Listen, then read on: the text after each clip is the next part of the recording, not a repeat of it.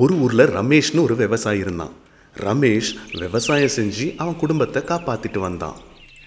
அவன் தோட்டத்தில் விளைஞ்ச காய்களை விற்று அந்த காசில் வீட்டுக்கு தேவையானதை வாங்கிட்டு போவான். ரமேஷோட அம்மா சாரதா எப்பவும் அவன் பையனை திட்டிக்கிட்டே இருப்பாங்க. ரமேஷ் மனைவி அனிதா கூட பத்தும் பத்தாம பணம் சம்பாதிக்கிறேன்னு சொல்லி திட்டிக்கிட்டே இருந்தா.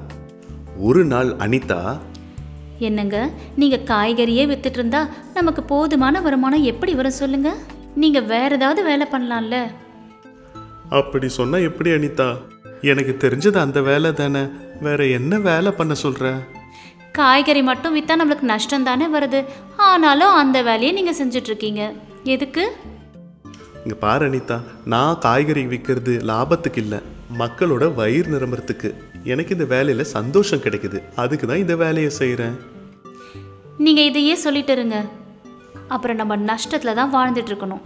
அப்புறம் நான் அத்தையெல்லாம் ரோட்ல பிச்சை தான் எடுக்கணும். டேய் கண்ணா மருமக சொல்றதும் நியாயம் தானே? இவ்வளோ நாளாக நம்ம காய்கறி வியாபாரம் பண்ணியும் அதில் ஒரு லாபமும் கிடைக்கல. அதனால நம்ம நஷ்டத்தை தான் பார்த்தோம். இன்னும் நம்ம மாறலன்னா எப்படி சொல்லு?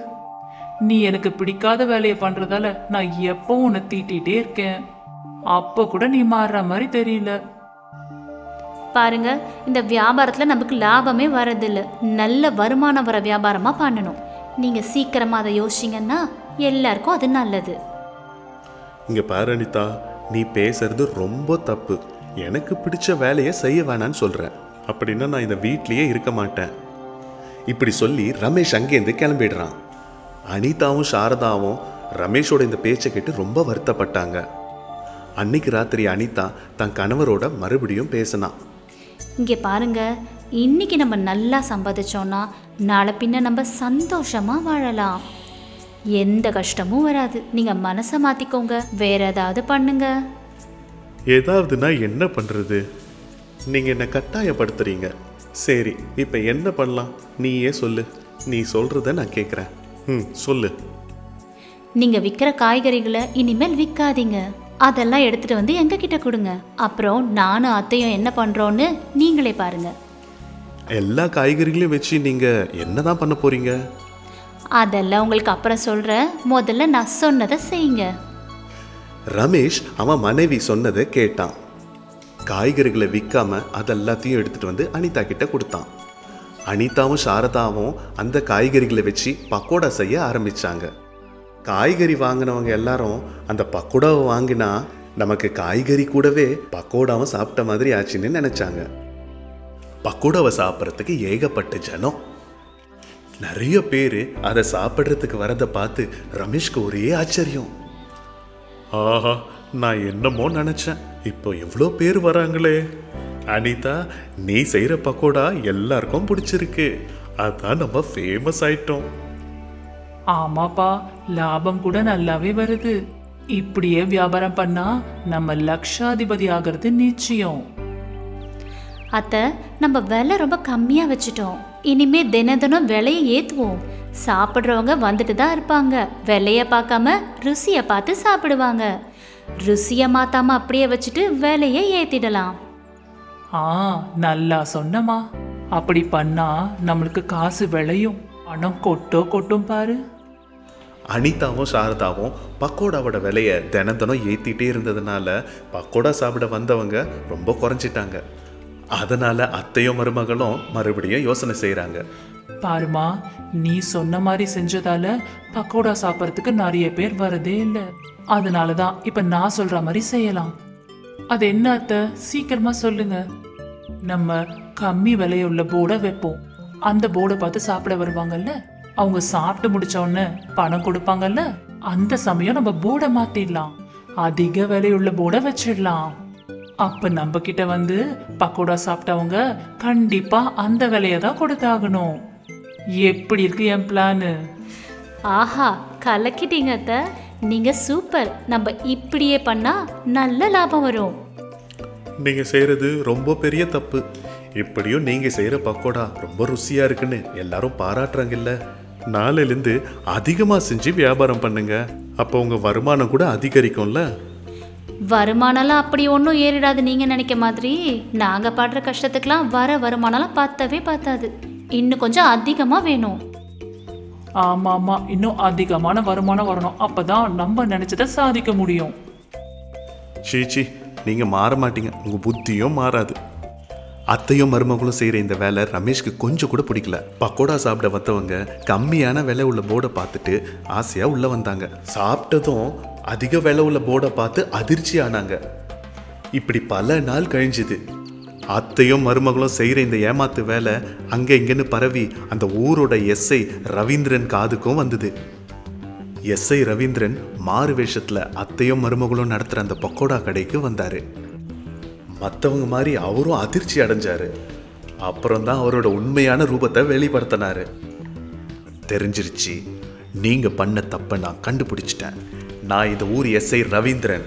உங்க ஏமாத்து வேலை வெளியில வந்துருச்சு. என் கூட உடனே போலீஸ் ஸ்டேஷனுக்கு வாங்க. உங்களை ஜெயிலில் அடைக்கிறது தான் சரி. ஐயோ எஸ்ஐ சார் எங்களை மன்னிச்சிருங்க. ஆமாம் ஏதோ காசுக்காக ஆசைப்பட்டு இப்படி செஞ்சிட்டோங்க. எங்களை விட்டுடுங்க. வேணும்னா உங்களுக்கு காசு தரோம். இப்போ ஒரு பிரயோஜனமும் இல்லை. நீங்கள் ஜெயிலுக்கு போய் தான் ஆகணும். அங்கே களி சாப்பிட்டீங்கன்னா தான் உங்கள் தப்பை நீங்கள் உணருவீங்க. வேணாங்க ஐயா அப்படி செய்யாதீங்க. நான் இங்க இந்த தப்பை இனிமேல் செய்ய மாட்டோம். இனிமே நாங்கள் யாரையும் மோசம் பண்ண மாட்டோம். எங்களை மன்னிச்சிடுங்க. எஸ்ஐ ரவீந்திரன் பேச்சை கேட்டு அத்தையும் மருமகளும் திருந்தினாங்க. ரெண்டு பேரும் அழுது கெஞ்சி கேட்டதால ரவீந்திரன் மனசு மாறி மன்னிச்சு விட்டாரு. அன்னியிலிருந்து அத்தையும் மருமகளும் நியாயமான விலைக்கு விற்று வாழ்ந்தாங்க. ரமேஷ் அவங்க ரெண்டு பேரும் திருந்தினதை பார்த்து மகிழ்ச்சியானான். ஒரு ஊர்ல சாரதா அனாமிகான்ற மாமியார் மகள் இருப்பாங்க. அனாமிகா புருஷன் மீனை பிடிச்சி வித்துக்கிட்டு இருப்பாரு. அப்படி வித்த பணத்தால குடும்பத்தை நடத்திக்கிட்டு இருப்பாரு ரமேஷ். சாரதா அனாமிகாவும் வீட்டுல இருந்துக்கிட்டு பொழுதுபோக்கிக்கிட்டு இருப்பாங்க. ஒரு நாள் ரமேஷ் எதுக்காகவோ கவலையா இருந்தான். என்னாச்சுடா? ஏன் ஒரு மாதிரியா இருக்க? மருமகளும் நீ ஏதாவது சண்டை போட்டீங்களா? நாங்க எதுவும் சண்டை போடல. ஆனா ஏன் தெரியல நேத்துல இருந்து அவர் இப்படிதான் இருக்காரு. ஏன்னு கேட்டா எனக்கு எதுவும் சொல்ல மாட்டேங்கிறாரு. இங்க பாடுறா கஷ்டம் வந்தாலும் நாங்க தானே வருத்தப்பட போறோம். என்னன்னு சொல்றா. ஏன் இப்படி வருத்தப்படுற? என்னாச்சு சொல்லு கண்ணா. சாரதாவும் அனாமிகாவும் அப்படி கேட்டதுக்கு ரமேஷ் தான் மனசுல இருந்த வேதனைய அவங்க கிட்ட சொன்னாரு. என்னன்னு சொல்றதுமா? கொஞ்ச நாளா என் நிலைமையே சரியில்லைம்மா. அந்த ரவீந்திரன் எனக்கு போட்டியா மீன் வேட்டையாடிக்கிட்டு இருக்கான். அவன் கிட்ட ரொம்ப விலை உயர்ந்த மீன் வலை இருக்கு. என்கிட்ட இருக்கிற வலை சுத்தமா நல்லா இல்ல. என் வலையில மீன் விழுந்தாலும் பாதி மீன் வழுக்கிக்கிட்டு தண்ணியில போகுது. அதனால மீன் வச்சு என்னால சரியா சம்பாதிக்க முடியலம்மா. நான் தினமும் கொஞ்சம் மீன் பிடிச்சா மீன்காரங்கெல்லாம் என்ன ரொம்ப கேவலமா பாக்குறாங்க. எனக்கு ரொம்ப வருத்தமா இருக்குமா அட இதுக்காடா நீ வருத்தப்பட்டுக்கிட்டு இருக்க? உன்னை பார்த்து நாங்க பத்திர போயிட்டோம்ல. இதுக்கு போய் நீ வருத்தப்பட்ட எப்படி சொல்லு? பாத்தியா உன்னால மருமகளும் அழுவுறா. வாழ்க்கையில எப்பவுமே உன் வருத்தத்தால உன் குடும்பத்தாருக்கு கண்ணீரை வர வைக்க கூடாதுப்பா இப்படி பண்றது தப்பு தானே உங்க மனசுல இருக்கிற கஷ்டத்தை சொல்லிக்கிட்டு தானே குறைய தீரும்? நீங்க சந்தோஷமா இருப்பீங்க. நானும் ஏதோ கொஞ்சம் படிச்சிருக்கேன்ல. எனக்கும் கொஞ்சம் அறிவு இருக்கு. நான் ஒரு தடவை மீனை எப்படி ஈஸியா பிடிக்கிறதுன்னு ஒரு வீடியோ மூலமா தெரிஞ்சுக்கிட்டேன். நாமளும் அப்படி பண்ணா கஷ்டப்படாம மீனை பிடிச்சிடலாம். ஆனா அனாமிகா நம்ம கிட்ட அவ்வளவு பணம் இல்லையே. பணம் இல்லாம இதெல்லாம் எப்படி செய்ய முடியும்? நீங்க எதுக்கும் கவலைப்படாதீங்க. நம்ம கடன் வாங்கிக்கலாம். நீங்க மீன் பிடிக்கிறதுக்கு ஒரு மோட்டார் வேணும். அந்த மோட்டார் மூலமா தண்ணி எல்லாம் வெளியில அமிச்சிட்டா தண்ணி எல்லாம் காலியாயி மீன் மட்டும் மிச்சம் இருக்கும். அப்போ நாம ரொம்ப சுலபமா அந்த மீனை பிடிச்சிடலாம்.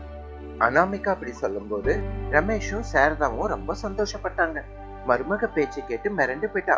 நீங்க சீக்கிரமா போய் பணம் எங்கேயாச்சும் கடனா கிடைக்குமான்னு பாருங்க. நாம உடனே மோட்டார் வாங்கி மீனை பிடிக்கணும். அதை வித்துட்டு கடனை தீர்த்திடலாம். அனாமிகா அப்படி சொன்னதுனால ரமேஷ் முகத்துல இன்னும் கவலை அப்படியே இருந்தது. மறுபடியும் என்னாச்சுடா? உன் மனசுல என்னதான் நினைச்சிட்டு இருக்க சொல்லு. மீன் வேட்டை சரியா போகாததுனால நான் இந்த வீட்டுக்காக இதுக்கு முன்னாடியே கடன் வாங்கியிருக்கேம்மா மறுபடியும் கடன் கேட்டு போனா எனக்கு யாரும் கொடுக்க மாட்டாங்க. அதை பத்தி தான் யோசிக்கிறேன். எனக்கு ரொம்ப கஷ்டமா இருக்குமா? இங்க பாருடா இந்த ஒரு தடவை கடன் வாங்கினா போதும். நம்ம கஷ்டங்கள் எல்லாம் அழியோட ஒழிச்சிடும் அவ்வளவுதான். நாங்க ஒரு தடவை போய் எங்கேயாச்சும் கடன் கிடைக்குமான்னு பார்த்துட்டு வரோம். அத்தை என் நகையை வித்துடலாம் அத்தை? அதுல வந்த பணத்தால மோட்டார் வாங்கிக்கலாம். நமக்கு மீன் நிறைய கிடைச்சா அதை வித்துட்டு அப்புறம் நிறைய நகை வாங்கிக்கலாம்ல? அதனால தான் நான் இந்த முடிவு எடுத்திருக்கேன். அது இல்லம்மா. இந்த மாதிரி நேரத்துல நீ நகை வைக்கிறது நல்லது இல்ல யாராச்சும் பார்த்தா என்ன நினைப்பாங்க? நல்லா இருக்காது இல்லையா அனாமிகா? யாரு என்ன நினைச்சாலும் நமக்கு என்ன? எனக்கு என் குடும்பம் தான் முக்கியம். புருஷனோட சந்தோஷம் முக்கியம். இந்த மாதிரி காரியம் செய்யறதுனால எனக்கு எந்த நஷ்டமும் இல்ல. என் குடும்பத்தோட சந்தோஷத்துக்காக இந்த வேலை செய்யறேன் நீங்க எதுக்கும் வருத்தப்படாதீங்க ரொம்ப சந்தோஷம்மா. இந்த மாதிரி மருமகளை அந்த கடவுள் எனக்கு கொடுத்ததுக்கு ரொம்ப சந்தோஷமா இருக்குமா? ஆனா இந்த வீட்டு கஷ்டங்களால தான் நீயும் ரொம்ப கஷ்டப்பட்டுட்டு இருக்க.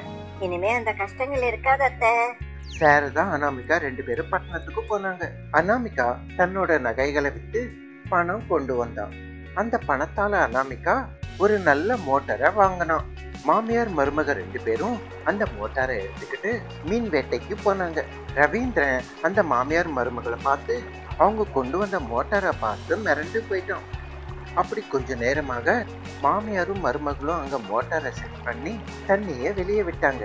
தண்ணி வெளியில போனதுனால மீனெல்லாம் அடியிலே இருந்தது. அந்த மீன்களை பார்த்து மாமியார் மருமகளும் ரொம்ப சந்தோஷப்பட்டாங்க. ரமேஷும் ரொம்ப சந்தோஷப்பட்டான். அடேங்கப்பா எத்தனை மீன்? நம்ம கனவு நினைவாச்சு. ஆமா அத்தை இனிமே நமக்கு கவலையே இல்ல. அந்த ரவீந்திரனை விட நாம தான் நிறைய மீன்களை விற்க போறோம். பாட்டிக்கிட்டே இருங்க. தண்ணி வெளியே போனதுனால மீன் எல்லாம் ஒரு கிட்ட வந்து சேரும். அப்போ நாம அந்த மீன்கள் எல்லாம் பிடிச்சிக்கலாம். சரிங்க அத்தை அப்படின்னு மருமக மாமியாரும் பேசிக்கிட்டு திறமையா மீன்களை பிடிப்பாங்க. பார்த்துக்கிட்டு இருக்கும்போதே அவங்க நினைச்சதை விட நிறைய மீன்களையே பிடிச்சிருக்காங்க. அந்த மீன்களை விட்டு நிறைய பணத்தை சம்பாதிச்சாங்க. ரமேஷ் வந்து மாமியார் மருமக செய்யற வேலைக்கு உதவி பண்றதுனால அவங்க வருமானம் இன்னும் அதிகமாச்சு. மூணு பேரும் மீனை வேட்டையாடுறதுனால நிறைய லாபம் வந்தது அந்த குடும்பத்துக்கு. அம்மா அனாமிகா நமக்கு நிறைய லாபம் வந்திருக்குல்ல. நீ அன்னைக்கு வித்த நகைகளை விட நீ நிறைய நகைகளை வாங்கிக்கம்மா. இங்க பாரு நமிகா அம்மா சொல்றது உண்மைதான். உனக்கு தேவையான நகைகளை வாங்கிக்கோ. அதுக்கும் முன்னாடி நமக்கு ஒரு நல்ல வீடு வேணுங்க. இந்த ஊர்லயே நமக்கு தான் பெரிய வீடா இருக்கணும். அப்பதான் இந்த ஊர்ல நமக்கு ஒரு நல்ல பேர் இருக்கும். ஏன் மருமக? முன்ஜாகிரதையா நல்லா யோசிப்பாடா. இப்படி யோசிக்கிற மருமக கிடைச்சது என் அதிர்ஷ்டம். டே ரமேஷ் மருமக சொன்னது செய்டா அவங்க நினைச்சபடியே அனாமிகா அந்த ஊர்லயே பெரிய வீட்டை கட்டினான். தாங்களுக்கு வந்த பணத்தால இன்னும் நிறைய மோட்டார்களை வாங்கி அவைகளை வாடகைக்கு விட்டான் அப்படி பணம் சம்பாதிக்க ஆரம்பிச்சா அனாமிகா. சில மோட்டார்களை அவங்க கிட்டேயே வச்சுக்கிட்டு மீன் வேட்டையாடிக்கிட்டு இருப்பாங்க. இப்படி மாமியார் மருமக ரெண்டு பேரும் அந்த ஊர்லயே பெரிய கோடீஸ்வரங்க ஆயிட்டாங்க. ரமேஷ்க்கு போட்டியா இருந்த ரவீந்திரன் கூட ரமேஷ் கிட்ட வந்து வேலைக்கு சேர்ந்தாரு. ரமேஷ் பத்து பேருக்கு வேலை கொடுத்து ரொம்ப சந்தோஷமா இருக்காரு. ரமேஷை பார்த்து சாரதா அனாமிக்காரு பேரும் ரொம்ப சந்தோஷப்பட்டாங்க. அப்படி அந்த குடும்பம் ரொம்ப சந்தோஷமா வாழ்ந்து வந்தது.